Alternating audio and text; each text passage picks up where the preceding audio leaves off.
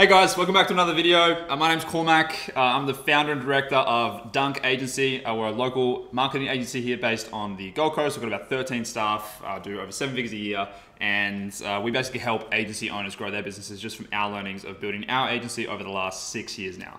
Um, so today I want to talk to you guys about building your organization. And this is specifically for uh, those guys that have, you know, two, three plus staff. You're kind of getting into, if you got, you got five staff, you got 10 staff, this is really going to help you out. Uh, this is how we look at mapping out our business and it's really really important that we've found uh, for you to get as clear as possible on what your next you know 3 6 9 12 months is going to look like within your organization what that structure is going to look like who's going to manage what uh, how many clients can you take what the cost is of this team and then how much uh, revenue you should be making off the back of this team so on and so forth so i got a little bit of a kind of cool training that I've taken from our program, and uh, it looks like this. So it's kind of just talking about building your organization, the future of your organization. So, uh, a lot of stuff here. Let's kind of dive in.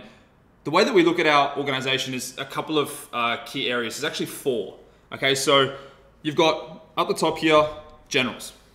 Okay, uh, generals are people that basically run the business. Now, a general right now within your agency might just be you. Okay, you might just be the director. You might also be, as the director, wearing a ton of hats. You might be the head of growth, uh, which is you know acquisition, getting in a bunch of leads, doing lead gen, sales calls. You might also be the marketing director, which is retention, managing staff, managing clients, and things like that as well. Um, as you start to grow, these are two roles that you kind of want to flesh out and, and, differentiate because you should have two leaders that are, you know, one's taking care of acquisition and one's taking care of retention. Um, okay, cool. So those are generals, right? You might be just the general within your agency. Uh, below that, you've kind of got captains. Um, so again, if if you don't have yet generals, um, you might not have captains, and captains are basically just like managers, okay, managers within your organization. As you start to really scale up the amount of troops that you have, which are essentially roles that are revenue generating. So these troops on the ground are basically the guys on the front lines. They're managing the accounts. They're getting the results for the clients. They're managing the relationships. They've really gotten to know the, their clients' businesses. They've been working with them for years, um, and they're getting all the results. Okay, those are the troops. They're like your digital strategists, your creative strategists, your social media managers. That's those guys. Okay, um, the captains. You know, typically what what people do uh, as they are building out their agency is they themselves, the director sits up as a general. They don't really have any captains yet because they can't really afford uh, any managers. There's no point. They don't. They can oversee the business, uh, and they've just got the troops on the ground. As your business starts to scale, obviously this is a bit of a worksheet for a larger scaled agency. You start to establish these hierarchical states within your business, such as captains, i.e., your managers, and then the generals as well. Okay, so I hope this is all making sense. So what have, what have we kind of talked about? Your generals, your captains, your troops. And then below that, you got your medics. Um, I literally watched Hacksaw Ridge, uh, which is a great movie before I made this training, and then it just kind of all clicked, and I'm like, these are just, it's totally making sense, these uh, analogy type uh, titles. So, um, medics are basically roles within your agency that are supporting the agency itself. Okay, so these are not necessarily revenue generating roles like digital strategists managing the accounts. They're more so roles like, you know, administration, um, VAs, brand coordinators, uh, internal social media managers, uh, graphic designers, video editors. Um, you know, you might not be, maybe you do have them uh, managing some client work, but it's mainly used internally for the agency's own internal marketing. Hope that makes sense. So those are like the four stages generals, captains, troops, and medics. Uh, the way that we kind of look at our businesses is a, a, couple key things. So, first off, like I said before, you might be sitting up at the top, you might just be the director. Um, but the captains themselves, uh, what we basically do is depending on the services that we are offering within the agency, um, we might have one captain as an example. Let's just say we've got a paid um, ads manager. These are not the actual titles that we use. Um, I'm just trying to make it as clear as possible. Um, so you get your paid ads manager. Maybe like in our agency, we also offer email. So you get your EDM manager. Okay. Um, and then below that, you might have your digital strategist. And then you might even have a junior digital strategist as well. Okay. Um, same with your EDM manager. You can have your EDM strategist, and then you can have your junior EDM. Ooh, you get the point. Cool. So, above them, like within our agency, two roles that we really do have is, like I said before, we've got our HOG, which is our head of growth, and then we've got our marketing director, um, which is all about you know retention, managing staff, managing clients, and ensuring that we're delivering top quality service and everybody's getting great results.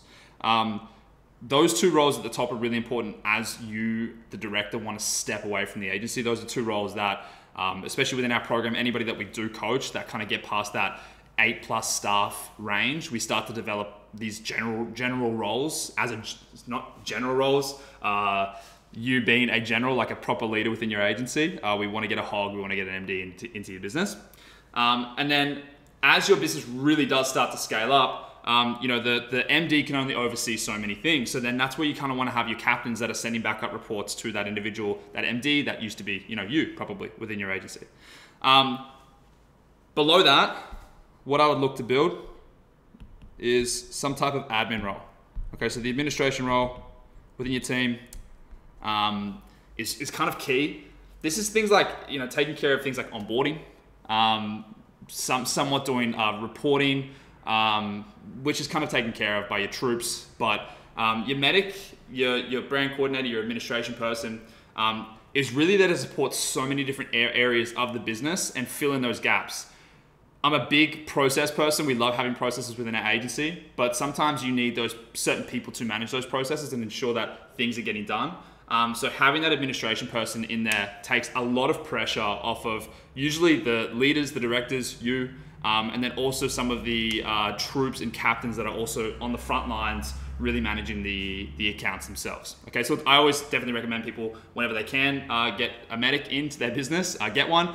Whether it's a full timer, whether they're part time locally, or they're a VA, um, it's definitely worthwhile. Cool, so here's what we do. We've kind of got a rough map out, like let's just say here of your team. Um, over on the right side, what I always did was uh, I kind of mapped out like the costs on a monthly basis for each of these roles.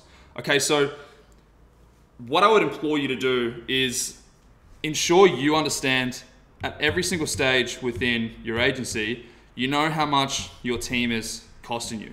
Okay, so you know how much your leaders are costing you, you know how much your revenue generating team, which is really just this team here, okay, you know how much they're costing you, and then you know how much your administration team is costing you, okay?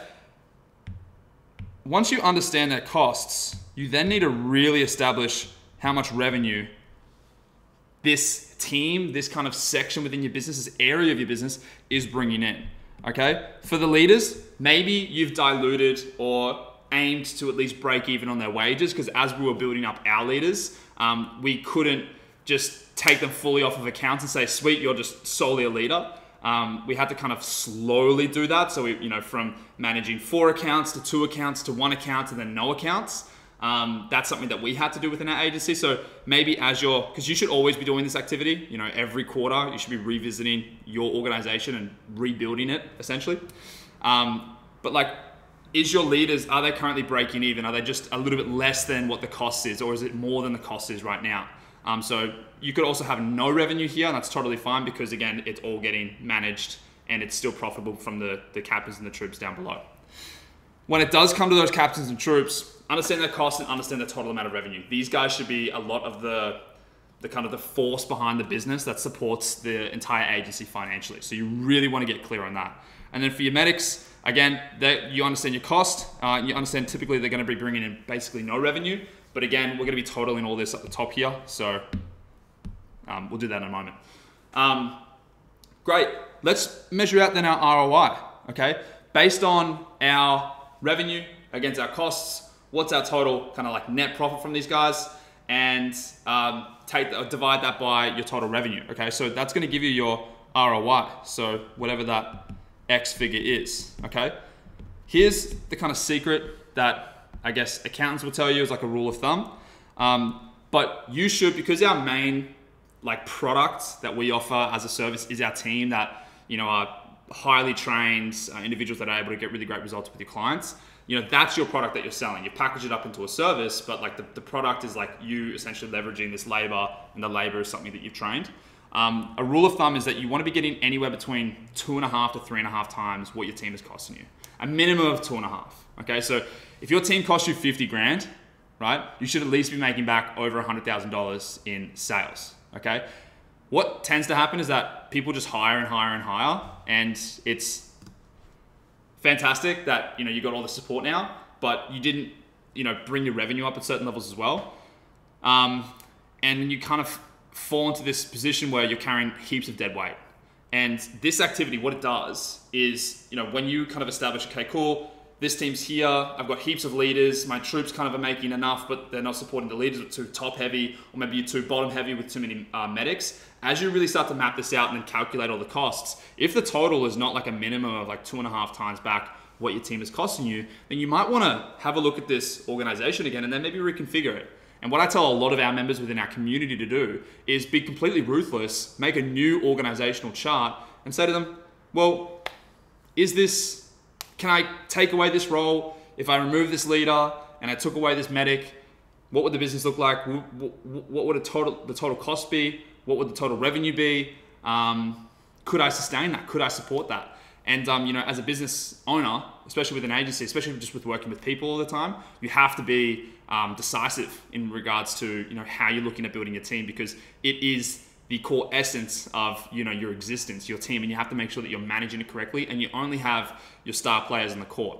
Okay, um, everybody else you, you, should be sitting on the bench, and that bench should be lean too.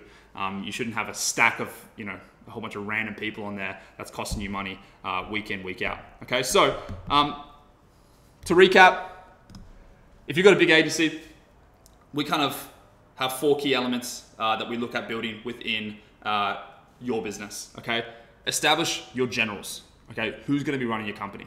Uh, beneath that, your captains, your managers, the people that can definitely be on accounts and uh, but also oversee the digistrats, the juniors. And again, guys, this list can continue to go down. Okay, you can have more people here. Pod them up, um, and you know start to apply each pod of you know a lot of the time even within our pods we'll have a lot of the guys with the guy brands, a lot of the girls with the girl brands, and we'll kind of just, uh, separate them like that. So you can do whatever you want. Um, and then make sure you kind of have that, yeah, captains and troops structure. Ensure that this middle section, especially with the troops, they are really managing a lot of the money uh, that the agency is bringing in on a monthly basis. And then beneath that, guys, have your medics, have a support system within your business.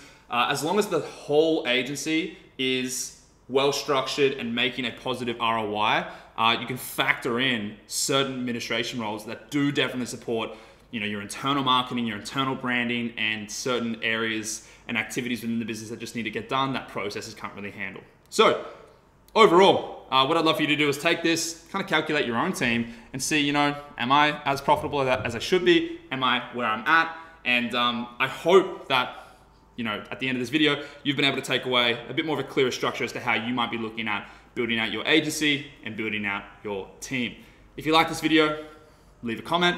Uh, let us know what you liked about it. And if you want to see anything else from us, please just let me know and we'll make those videos. All the best, guys. See you in the next one.